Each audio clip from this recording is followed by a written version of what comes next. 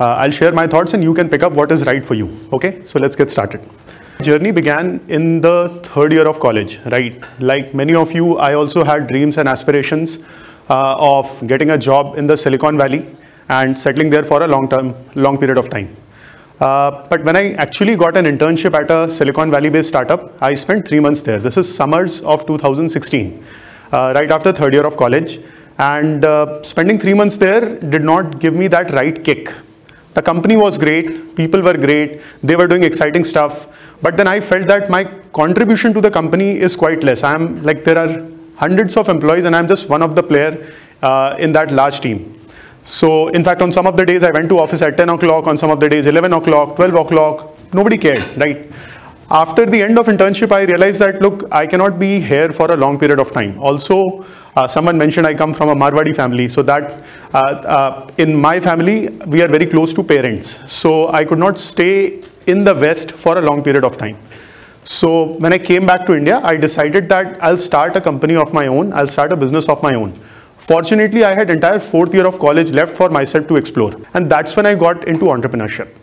I joined my college school of entrepreneurship and I took up a lot of courses, some of which you can see here, technology venture creation, marketing for entrepreneurs. Like uh, many of us would be engineers here and engineers are great at building. In some of these courses, I learned that, look, we have to first understand the customer needs before building something. The best part was that the professors who were taking these courses were not really academicians. They were entrepreneurs themselves. Some of them had large multi-billion dollar listed companies which they co-founded back in 1975, back in 1980s, right? So their thought process was very simple. No pen paper based exams. Go and talk to customer, understand their problem statement, build a company. So I partnered with a friend of mine who was also from my college, same branch. The two of us were very similar, knew each other from three years of college and started the company together. So as a part of the project, we were asked to find a problem statement. One problem statement I had was, so this is a photograph I wanted to show you because entrepreneurship is often glamorized, people wearing fancy coats, buying expensive cars, but this is how really entrepreneurship is. You got to meet your customers, you got to talk to them, understand their problem statements. Our start was very interesting in the sense that after meeting three banks, we met a fourth bank, which is a large public sector bank. We, we got our first client and it was a great start starting point for us and they also floated their uh, our name to their group company. So this large bank they supported us. They gave us the contract of roughly $100000 just imagine two 21 year old starting a company and they get the first contract of $100000 from the largest public sector bank in the country. So it was a great start we had our ups and downs during the journey. When we onboarded this customer, for example, we had to, to go through multiple stakeholders. Like we are selling to a large enterprise, there is a business team, there is an information technology team, there is a security team, legal, compliance, procurement, finance. All of these nuances, both of us had to learn. We were programmers, and that's all we were. We knew how to write code. We did not know how non-disclosure agreements work. We did not know how master service agreements work, but we were able to spend time to learn these things and execute it with our customer jointly by getting their mentorship.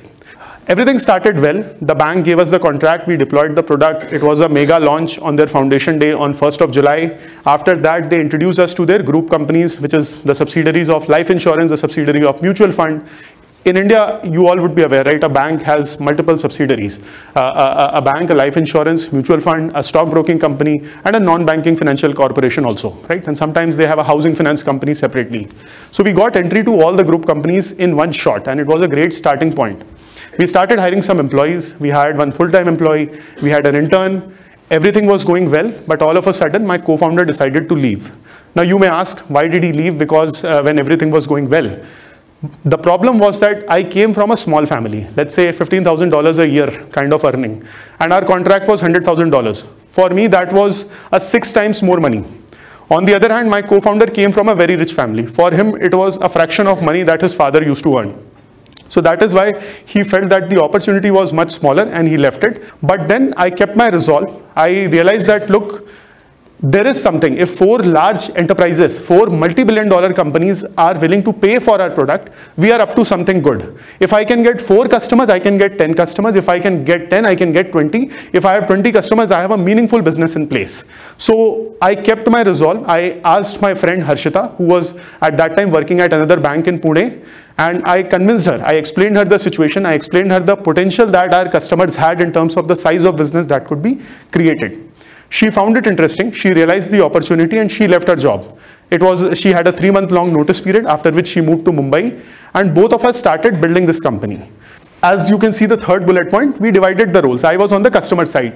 You know, I spent so much time with one of our customers. When I, so in large banks, you would know that when you enter their office, the corporate office, you have to provide your laptop serial number from a data security perspective. The security guard had memorized my laptop serial number because I used to go there so often. When I went to canteen and if the credit card was not working for whatever reason for some payment issue, network issue, the person at the canteen told me, you come tomorrow, you pay me because you come every day. That's the amount of time I spent with the customers. Like within the bank ecosystem, people thought I am an employee. I, I, I, was always there. I was everywhere visible in the large office. That gave comfort to the customer. They gave us more contracts. This is December 2018. Four months after my co-founder left, we got a large contract of roughly 14 lakh rupees. After a while, this is April 2019, six months after my co-founder had gone, six to eight months, I hired one salesperson. That is another interesting story. So Typically, when you hire a salesperson, when you uh, or you apply for a job at a startup, you will start thinking that okay, the founder will come in a suited, booted coat, suit, and the sales guy uh, they will come in a suited, booted, all wearing fancy watches and all. That's what happened. I called the guy to my college campus because I stay nearby. And uh, the guy comes in a very fancy suit. He's wearing shoes, expensive watch to impress me. And I'm driving a scooty wearing my polo t-shirt at night. Uh, like whatever you t-shirt I slept with at night, the same t-shirt I wore next day and reached the campus. I was 22 years old. I had no idea how to interview a salesperson. So you know what I did? I just asked him for three long hours what he did at his previous company, what were their sales processes, how did they sell. It was a completely unrelated company. It was an edtech startup and I was in an enterprise SaaS space, right, building software for large financial institutions. But then the, because as I said, because I did not know how to interview salespeople, I just asked him all sort of questions. After three hours, I was not convinced whether I should hire him or not because I'm a techie, I'm a programmer, I've never hired a salesperson in my life.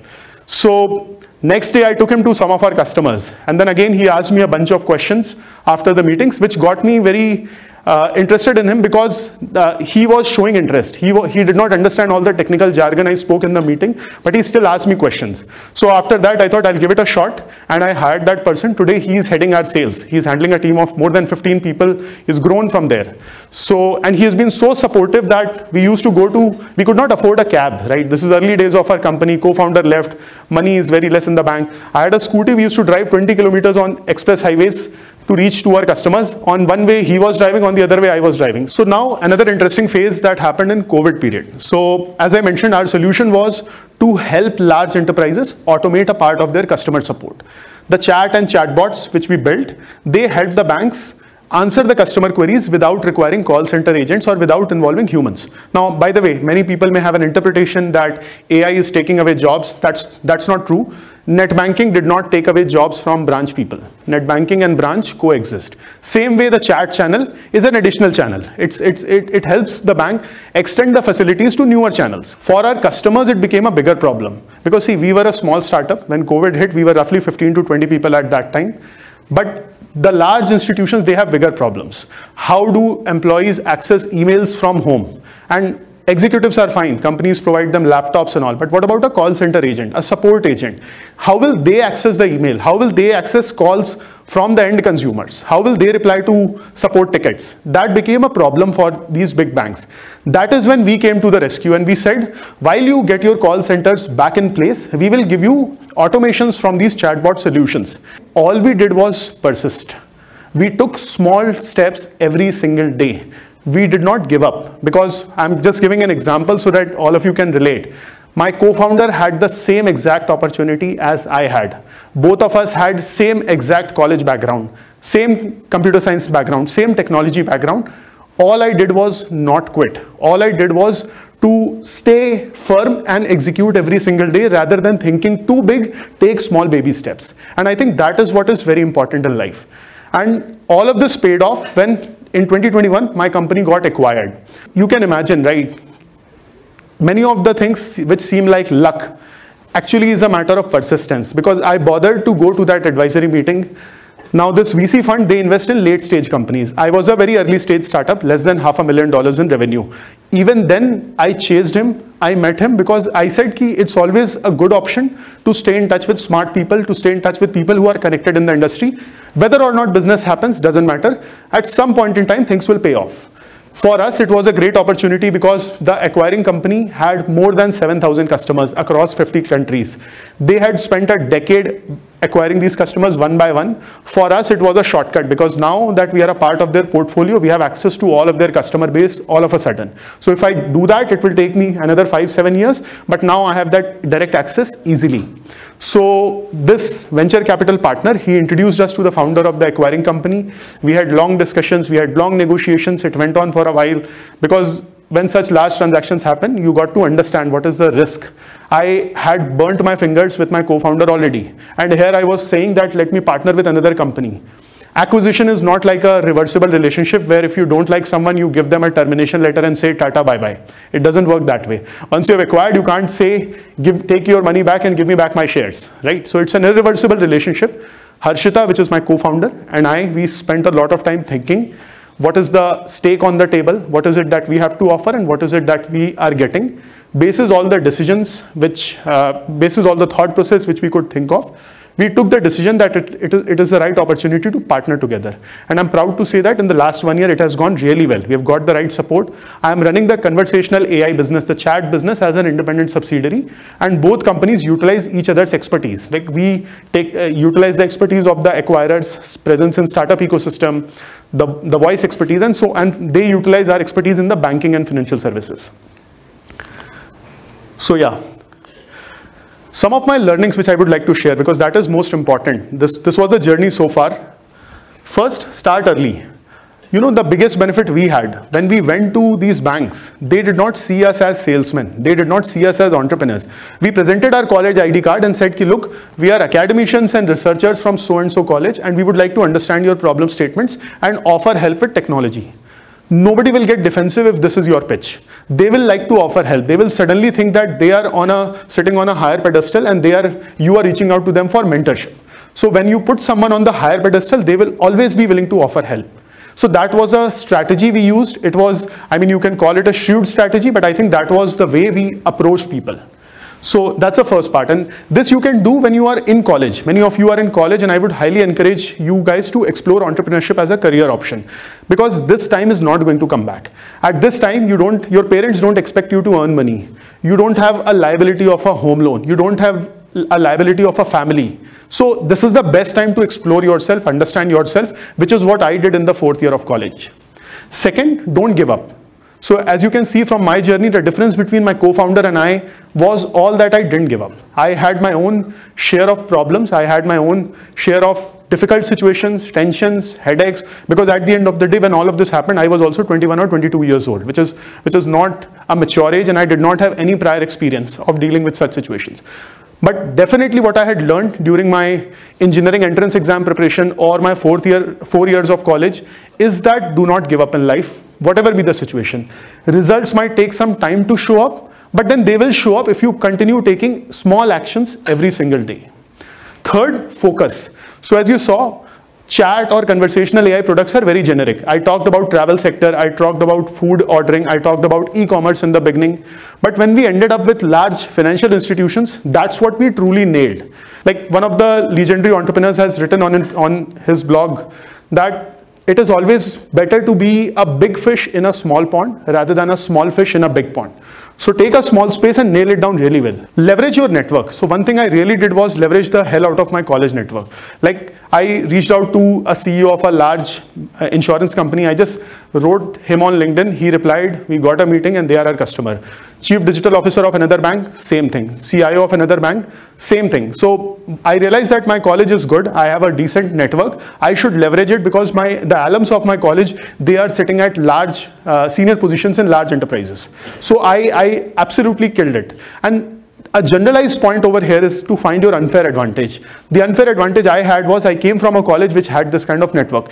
If you are not from such a college, what is your unfair advantage? For a simple example, I tell you, there must be someone in your group who you reach out to whenever you have to travel somewhere. You have to go to an outing, you have to go to a hill station, you reach out to someone. You have an event to organize, you reach out to this person. Now this person already had an, has an unfair advantage in travel. That is why people are reaching out to him or her to understand ki I want to go over a weekend, what is the best resort you recommend, right? I'm sure all of you have that, right? It is because they have an unfair advantage. It is easier for them to build a business and travel than anyone else because you are their customer. You and many of your friends are customers on day one if they build something like this. So find your unfair advantage and this is not just about entrepreneurship. In career, in your life, if you want to progress, find out what is your unfair advantage. And that, and most likely that unfair advantage will come out because of the fact that you really love doing something. Like the person who is an expert in travel really loves to travel. The person who is an expert in event management really loves to manage and organize events. Find out what is it that you really love to do. And that is where you tie your passion with your profession. Next, execution is the key. So as I told you, some of the instances that we went on to, the, to meet the customer in a scooty, at that time we could have said that look we are doing half a million dollars of revenue. One more customer will not create an impact. That's fine. Let's not go. Let's go tomorrow. Let's cancel this meeting. But we were relentless. We said we have to do this customer meeting. Customer is the king or customer is the queen. If, if, if they call us for a meeting, we have to go. In early stages, that's how the execution has to be done. And lastly, don't chase investors, chase customers. We all hear the news of $5 million raised by XYZ startup, $50 million raised by some uh, fintech company. You know, all of this happens. When all of this happens, the journalists, what they do not publish is the story behind. The story behind acquiring 1 million customers. And that is when you get a lot of funding. Customers are the ones who are the who will give you money and not take it back. You know, employees will draw salary. Advisors will want exit at some point in time when you get bought out or when you get public, they would want money. Investors invest to get money back in the form of returns. Customer is the only one who gives you money not to ask it back ever. Obviously, you have to give the product in return. So if there is someone who is really funding your business, it is the customer. So that's how I think we followed the approach. We were very customer centric and we just went crazy when it comes to customers and we completely ignored the investors. And I think that paid off really well. At the time of acquisition, my co-founder and I held 97% of the company. Just 3% was given to some advisors, some angel investors, that's about it. We did not have any institutional investor. And I think irrespective of the nature of business, this is the guru mantra. This is the mantra that every entrepreneur must follow. That's it. Thank you so much.